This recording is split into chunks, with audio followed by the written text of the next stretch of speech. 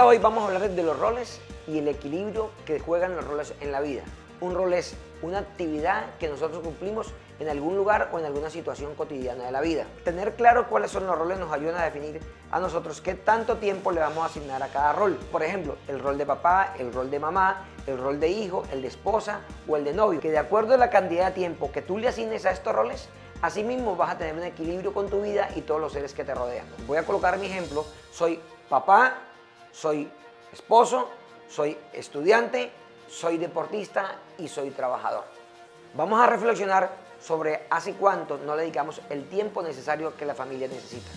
Por decir algo, hace cuánto no llevas a tu hijo al colegio, hace cuánto no le preparas el desayuno a tu esposa, hace cuánto no llevas a un parque o, o al cine a tus padres. Miren lo importante que es tener el tiempo suficiente para compartir con su familia. Y regularmente llegamos cansados del trabajo Queremos comer a última hora y de una irnos a la cama. Regularmente nosotros dedicamos mucho tiempo al trabajo, sobre todo cuando, estamos, cuando somos muy jóvenes.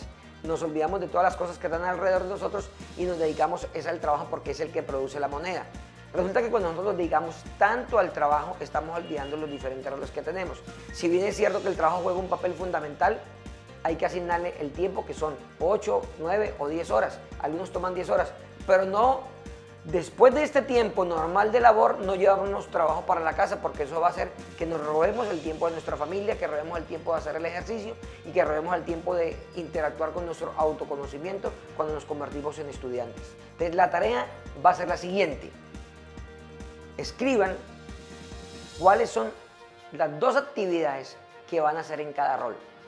Por ejemplo, lleven sus hijos al colegio o recojan sus hijos en el colegio salgan con su esposa a cine. Como estudiantes, comprométanse a ir este fin de semana a hacer los trabajos que dejaron los diferentes profesores.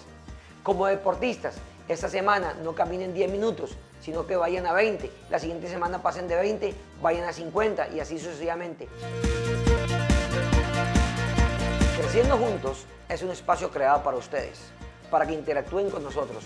Síganos en las redes sociales, en nuestro canal web, déjennos sus comentarios y espero con mucha ansiedad que ustedes realicen las actividades que hemos propuesto durante este programa para que luego nos cuenten qué sintieron, cuáles fueron las emociones, qué le transmitieron a las, a las personas que están al lado de ustedes, a sus compañeros, a su familia, a sus hijos. Creciendo juntos construimos un futuro mejor.